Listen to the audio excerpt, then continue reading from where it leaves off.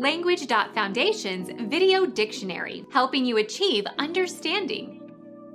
Commercially important food fish of northern waters of both Atlantic and Pacific.